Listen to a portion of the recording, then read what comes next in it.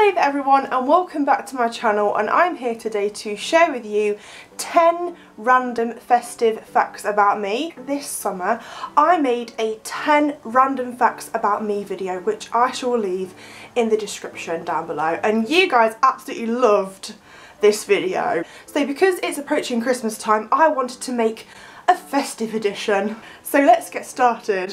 Ho ho ho. So festive fact number one is that my favourite Christmas film of all time is The Snowman. With The Snowman, I think that it's so beautiful but also at the same time it makes me weep, like I cry. It makes me so sad but I always go back to it. Why not let me know your favourite Christmas film in the comments down below. Festive fact number two is that I love mince pies, especially drowning in custard. Oh, tis the season. Now in the UK there's a little bit of a debate about mince pies. Do you love them or do you hate them? Why not let me know? Festive fact number three is that things which remind me of my precious childhood at Christmas time is the Toys R Us advert. Also, randomly because this is a random facts video, the smell of tinsel. When I smell tinsel, I am just transported back to the five-year-old me. Something else from childhood is definitely getting the Argos catalogue. This was a time before the internet and I would get the Argos catalogue and a highlighter pen and I would go through the catalogue and highlight all of the toys that I wanted for Christmas. Oh no, I've like completely forgot what fact I'm on. This is what happened last time. Oh well.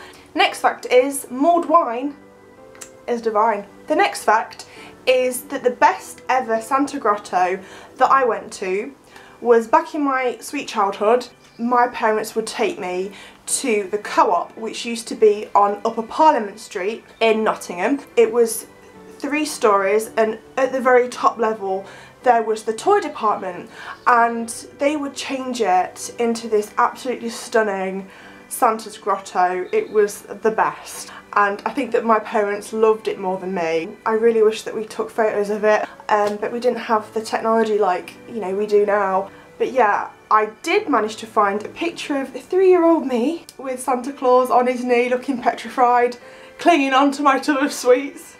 Nothing changes. Even though the co-op doesn't exist anymore on Upper Parliament Street, I just wanted to mention it in this video just to remember it and if you're from Nottingham like me and you can remember that grotto then why not tweet me at Bunny Moonstone. So moving on to the next fact.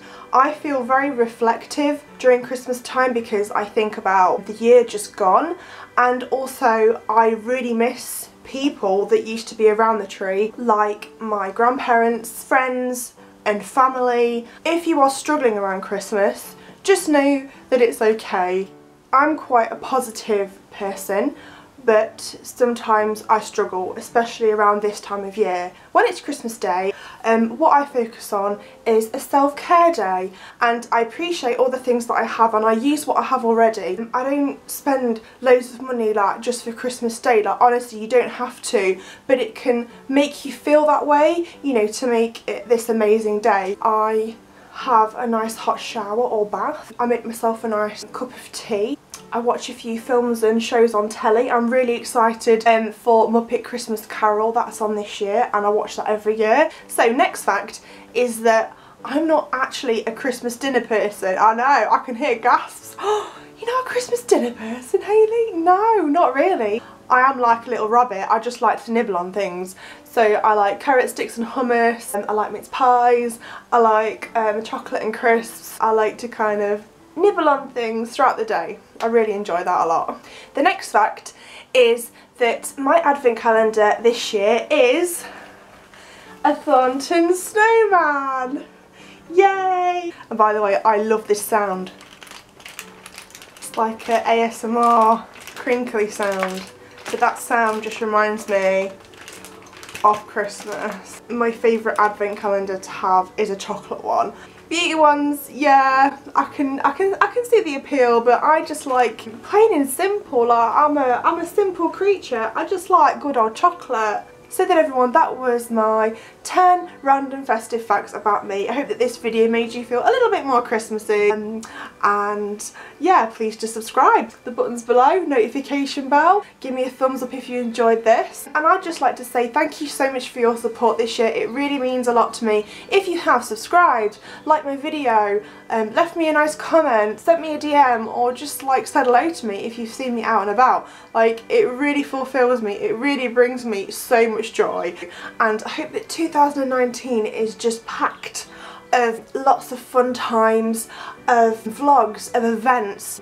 I just hope that 2019 is going to be my year. Fingers crossed. I hope that I can take you along with me. So, Merry Christmas and I shall see you very soon. Bye!